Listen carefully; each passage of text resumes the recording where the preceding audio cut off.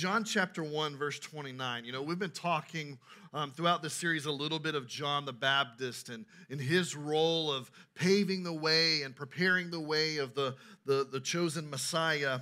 Uh, but I love John's response whenever Jesus shows up to be baptized. And this is what he says in 1 John 1, verse 29. It says, The next day, John saw Jesus coming toward him and said, Look, the Lamb of God who takes away the sin of the world. Behold the Lamb of God. See, John's doing something here. He's taking his attention off of himself and he's shifting it to Jesus. He's saying, Look, the Messiah's here. You know, I think this is so important for us and in our and how we live our lives that we aren't in the spotlight, but that we shift the spotlight to Jesus. Look at what he has done in my life, not look at who I have become and my success, but that we shift the spotlight to make it set on Jesus. Every shift of God in our lives is meant to get us closer to Jesus.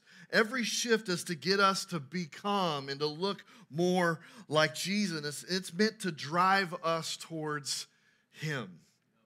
You know, these shifts are meant to make us more like Him and more in love with Him. That's what I believe the shifting is all about. And I know that we need to shift from our self centeredness and our self absorbed existence to a Christ centered perspective. Here's a little bit of revelation that you maybe don't know, but the world doesn't revolve around me, and the world doesn't revolve around you, but in fact, it revolves around Jesus. Meaning, the quicker you can get that perspective, the better off you will be. There needs to be this emphasis, there needs to be this focus, there needs to be this drive in us to place Jesus at the center. And it's easy to say, but practically, it's hard to live out. God, you're at the center of my work schedule. God, you're at the center of my free time. God, you're at the center of my marriage. You know, it sounds good. It sounds really good in our Christian bubble to say Christ is the center, but practically lived out, it is so much harder. But He is meant to be the driving force that's behind our day, our purpose, and our reason for living. Is that who He is in your life? Or is there other things that are driving you? Jesus said in John 3:30, "He must increase, but I must decrease."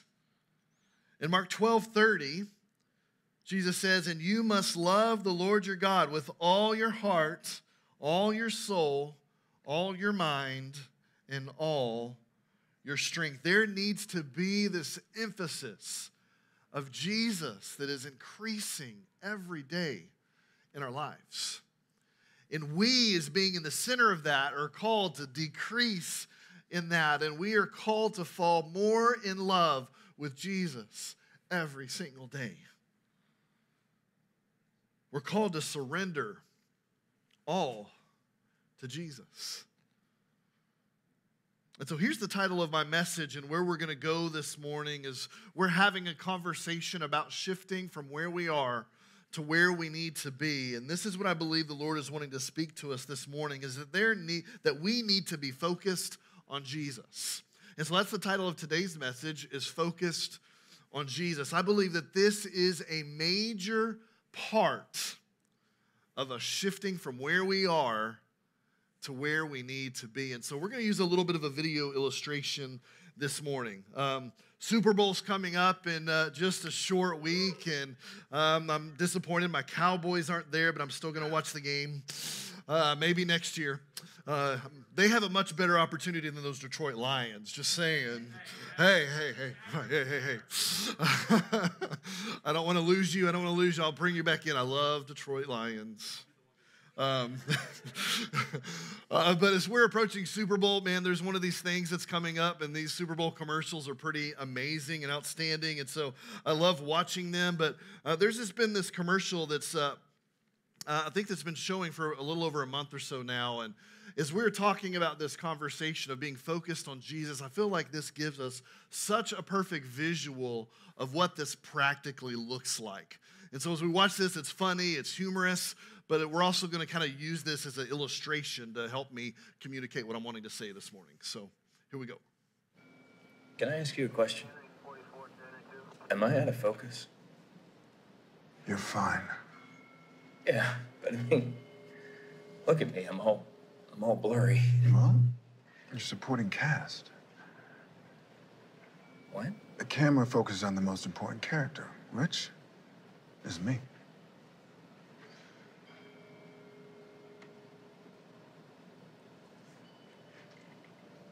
Well, what if my character had a big reveal? Like what?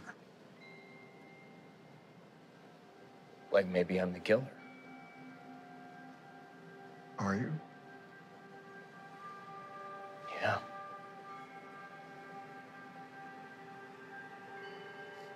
No.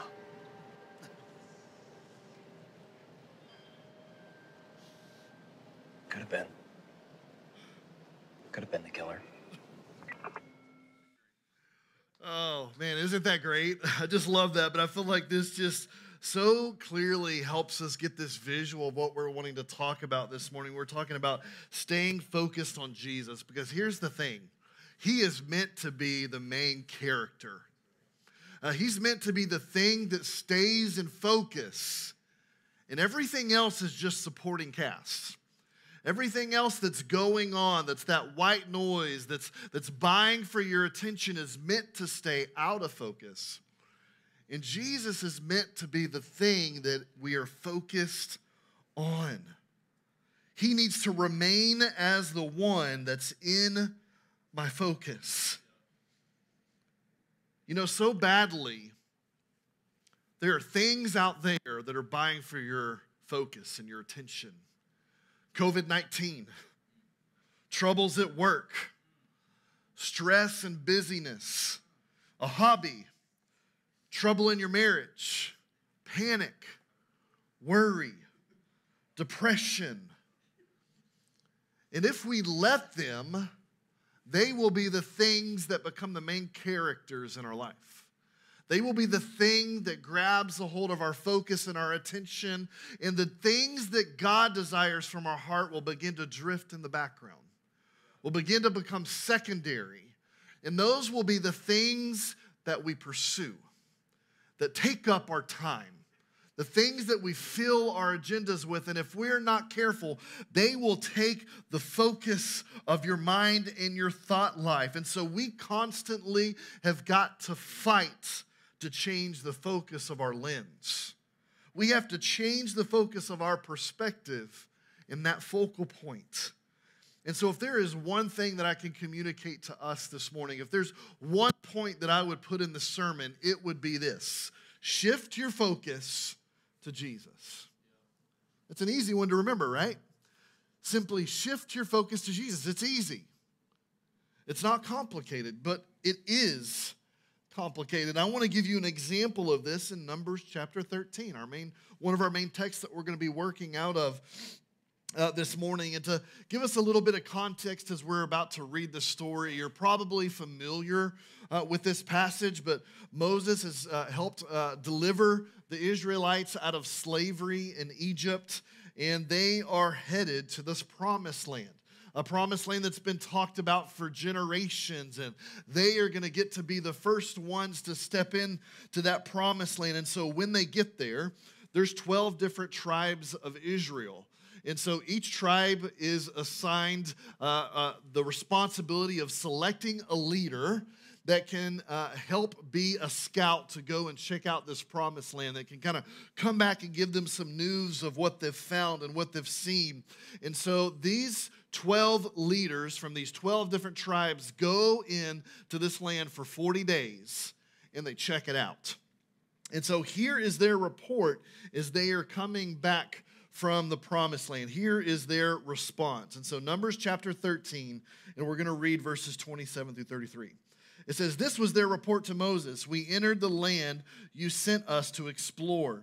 It is indeed a bountiful country, a land flowing with milk and honey. Here is the kind of fruit it produces. But the people living there are powerful, and their towns are large and fortified. We even saw giants there, the descendants of Anak. The Amalekites live in the Negev, and the Hittites and the Jebusites and Amorites live in the hill country. The Canaanites live along the coast of the Mediterranean Sea and along the Jordan Valley. But Caleb tried to quiet the people as they stood before Moses. There's all these bad reports, things that they're saying that they're worried about that doesn't look so hopeful, but I love that Caleb tries to silence them. He tries to get them quiet. And here is what he says in verse 30 Let's go at once to take the land, he said we can certainly conquer it. But the other man who explored the, the land with him disagreed. We can't go up against them. They are stronger than we are. So they spread this bad report about the land among the Israelites. This land we traveled through and explore, explored will devour anyone who goes to live there. All the people we saw were huge. We even saw giants there, the descendants of Anak. Next to them, we felt like grasshoppers. And that's what they thought too. Now, we're talking about keeping our focus on Jesus. This was a promised land that, like I said just a moment ago, that had been talked about for generations that they were told that they would get to occupy and live in one day. And now Jesus has invited them to go and to take possession of this land. But I want you to think about this for a moment. There were 12 spies that went in. And what we know by reading the story, 10 of them, the only thing that they could see was the giants, was the obstacles, was all the reasons as to why they can't take possession of it. These were 10 great men, leaders that had been selected by their tribes, I'm guessing men of faith. But in those 40 days, this was their response, and it came from this place of fear in the unknown. And there were only two of the spies that remained focused to be able to say, listen, if God is in this, that He's going to help us do it, that He is going to help us take possession. They saw promise and provision, where the others saw giants and difficulty. So, what's the difference between these 12 men? And I would like to submit to you, I believe it's their focus. It's who is playing the main character in what they're seeing in their life. The majority of them are focused on giants and obstacles, while the others are focused on the word from God, are focused on the direction from God. And they believe without a shadow of a doubt that they can possess it and take ownership of it, even though it's going to require some fighting. Even though there's going to be some battles that have to be won, even though it's not always going to be comfortable, they believed that they could do it. And so let me ask you and you and me for just a moment. You know, what are we going to do? Because I believe God is presenting us with some pretty incredible opportunities this year. What will our response be? Will we be like the majority that we just read about and just say, man, this is too hard, this is too difficult, this is going to cost too much, I'm out? Or are we going to be the ones that say, you know what, if God said it, He's going to do it, let's go? Will we set our focus on the promise or the obstacle? Jesus inviting us, I believe, in some aspect of our lives to step out in an area of promise that He has for you, that He has for me. You know, for some of us, He's inviting us to some kingdom opportunities and conversations that He's wanting us to have. For others of us, He's wanting us to step into those areas of freedom. Or maybe He's inviting you to an area of deliverance, to that place of peace. or to that position of joy. And so, will we set our focus on Jesus and pursue them, or will, or will we be overwhelmed at the thought of the giant task that it's going to require, that's going to take in order for us to get past those places? Shift your focus to Jesus. Turn with me to Philippians chapter 1. I want you to see something here. As Paul's writing to this church and encouraging them, I think there's some incredible things that we can learn here from this passage and what it looks like to shift your focus from the obstacles to the promise. Uh, we're going to read verse 18, and then in a moment we're going to go back to it and read more context. But for right now, just turn with me to Philippians 1. We're going to read verse 18. This is what Paul says. Excuse me. But that doesn't matter. He's talking about some difficult things that he is personally having to overcome. You know, as this letter is being written, many theologians believe that he is writing from prison as he's writing this letter. So he's in a very difficult place uh, for standing up and preaching the gospel. He says, But that doesn't matter. Whether their motives are false or genuine, the message about Christ is being preached either way. So I rejoice and I will continue to rejoice. And I love what Paul is communicating here. And it's that all that matters to him was that Christ was being preached, was that the name of Jesus was being made known, that he was the one that was in the spotlight and it wasn't Paul. What matters most to us and what's the priority of our lives? When people look at us, what do we want them to see? Success? Jesus? A title, being funny. You know, what is it that we want others to see? What is the priority of our lives? Anything that serves the purpose of Christ. Being known should be the thing that we are going after the most. And here's the thing about that whether we like it or don't, as to what is the thing that we're having to walk through in that moment, whether it's easy or hard, the goal of our lives to be what matters most is that Jesus is made known.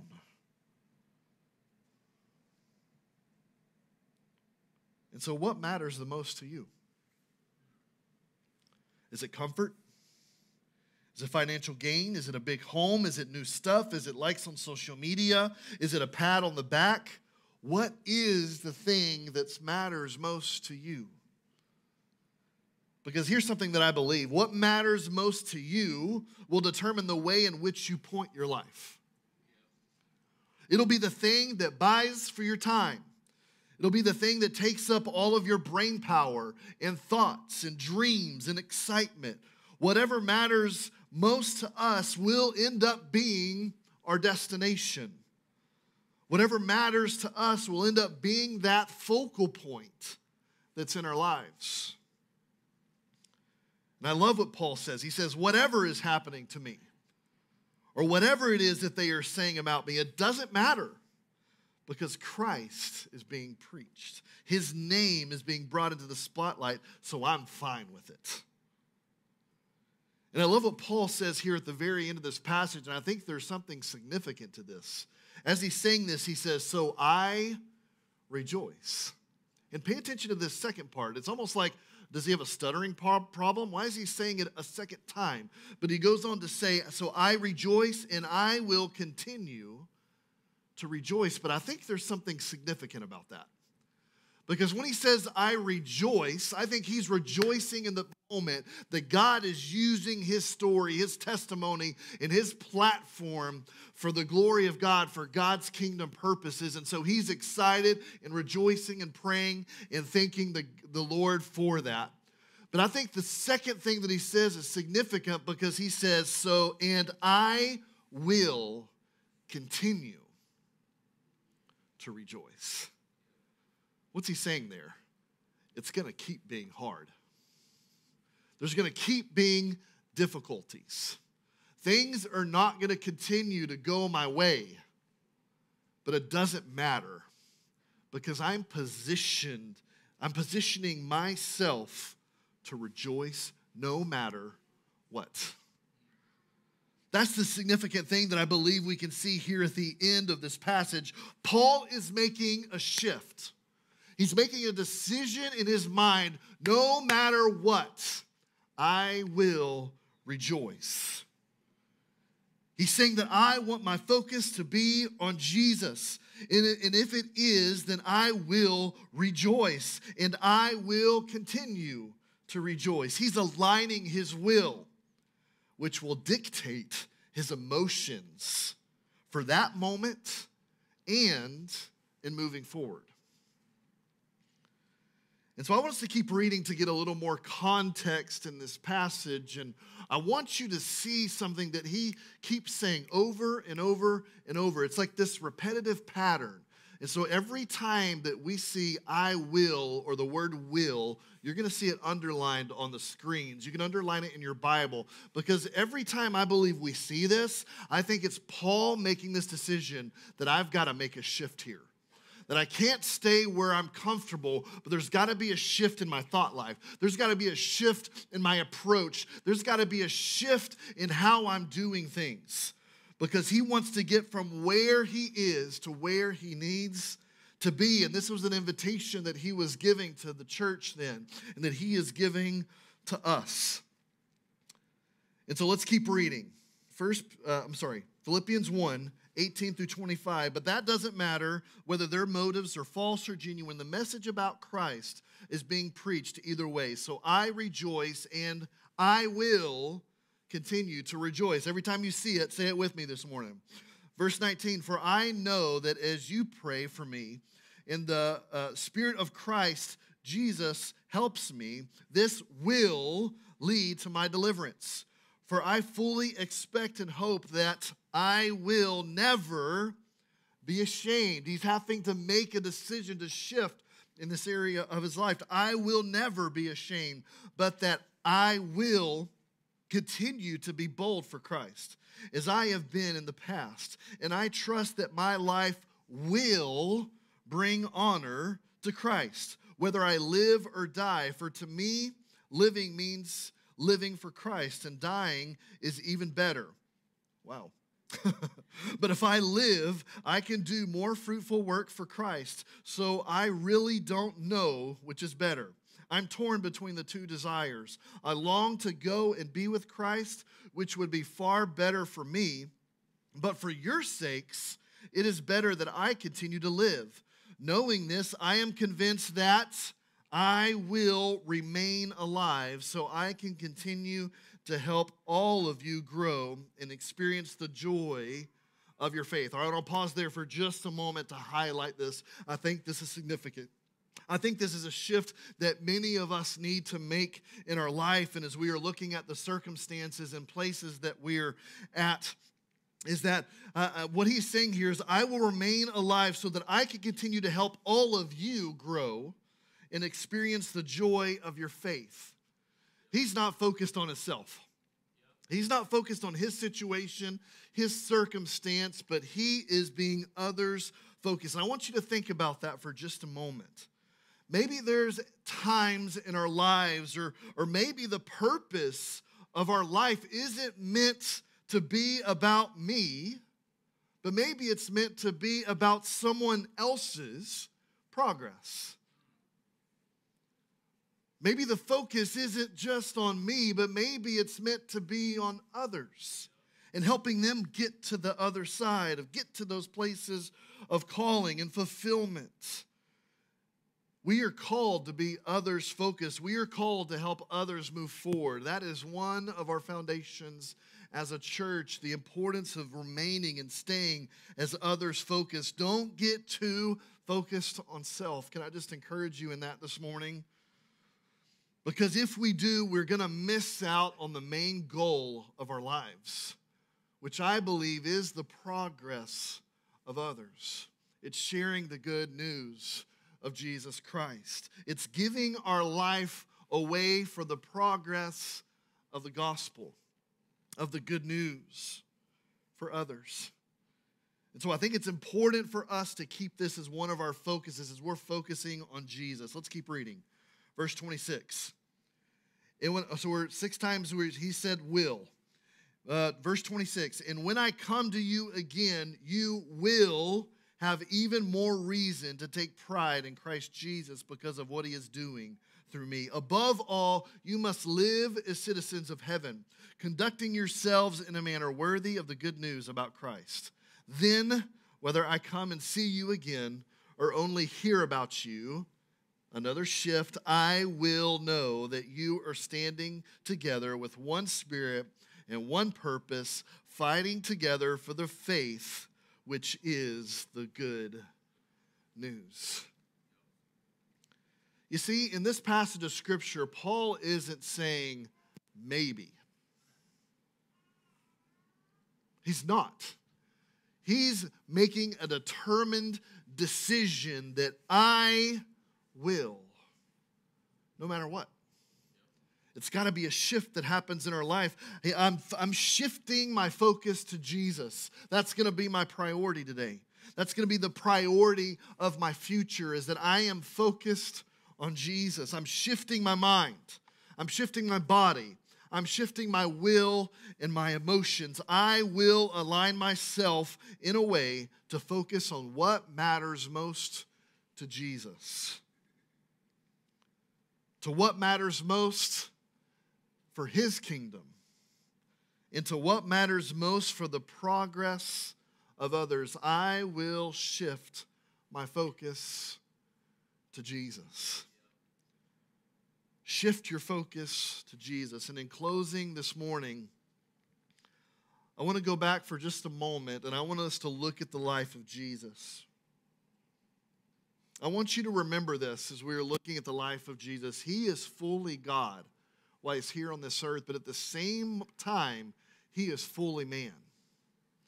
As you read scripture and you understand the story of Jesus, we know that he was sent by God for a purpose for while he lived here on this earth. But we also know that Jesus was willing to come. There had to be a sacrifice in order for us to, to be saved. Something had to atone for the sin of all mankind. No longer was animal sacrifice and blood sufficient, but there needed to be something that would once and for all wash away the sins of the world.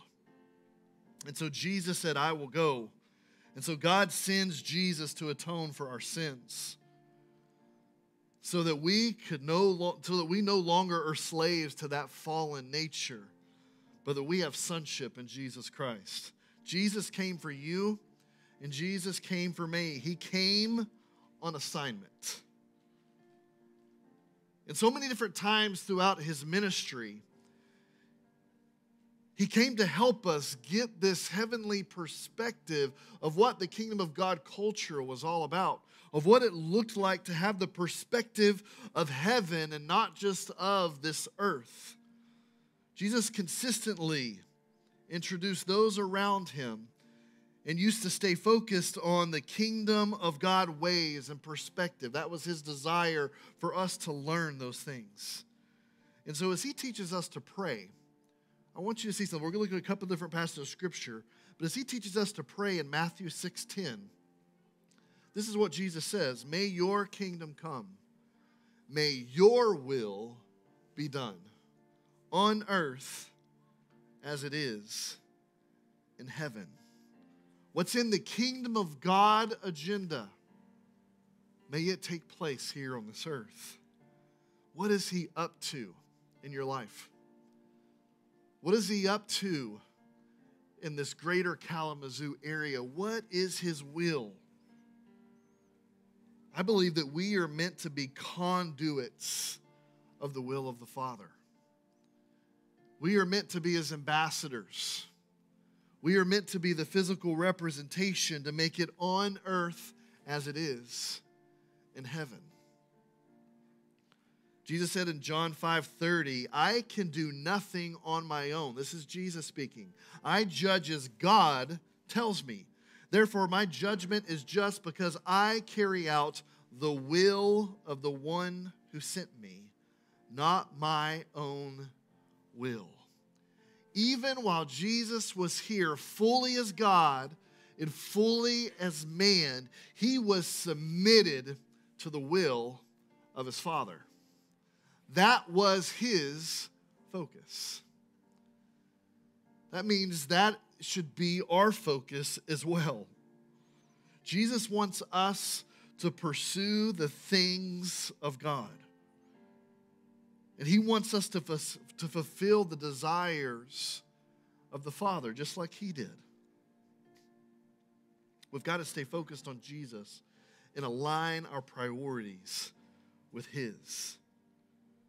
In Luke 22 42, Jesus was in the garden. And this was his prayer Father, if you are willing, please take this cup of suffering away from me. Yet I want your will to be done, not mine. You know, here in the garden, Jesus knows what's coming next. He knows that he's about to suffer. He's about to be beaten.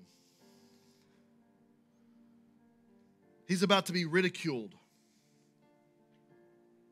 He's about to be humiliated. And he's about to die a slow death on a cross for the sins of all of mankind. He didn't deserve it. And his prayer was God, if you are willing, take this cup of suffering away from me. But if your plan is different, that's what I want. That's what I desired. Here's the beauty I believe in this story. Is Jesus says, "Listen, I understand suffering. And so I understand the sufferings that you're going through. I understand those places of pain, of loss, of hurt, of humiliation. I understand that disease. I understand that sickness. I understand suffering. I've been there, but I'm with you through it. And what Jesus wanted to teach us, what he wanted to model for us, is that even while we're walking through those hard times, to keep our gaze focused on Jesus on his will and his desires and the plan that he has in store for us. Jesus continued to serve the will of the Father. And so I think our invitation is to stay focused on the kingdom agenda that he is working out around us. And this is hard. But as we've been talking throughout this series about making these small shifts, making these small adjustments and changes in our life. This is the, one of the things that I believe that we have to do is in our focus of what's priority, of what's the driving factor behind our lives, is daily we have to align that focus with His desires for our life. It's a decision that we have to make. And we may never, ever fully understand all the whys all the hows. But here's what I know is that he is telling us to position ourselves to trust and to obey, to carry out the will of the Father, and to not get too focused on ourselves, that we don't miss out on our calling to help others move forward, but to remain others focused.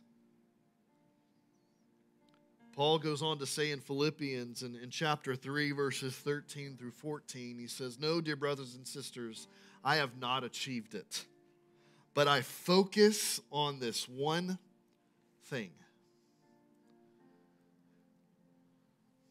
Paul's saying it's hard, but you've got to stay focused on the one thing. Remain focused on the one thing, forgetting the past and looking forward to what lies ahead. I press on to reach the end of the race and to receive the heavenly prize for which God, through Christ Jesus, is calling us. We've got to shift our focus to Jesus. Would you stand to your feet with me this morning? Hey, Firm Foundation, Pastor Blake here. Thanks so much for tuning in to our service. We hope that you were encouraged through the service today and that you were strengthened in your relationship with the Lord. We hope you enjoy the message today. God bless.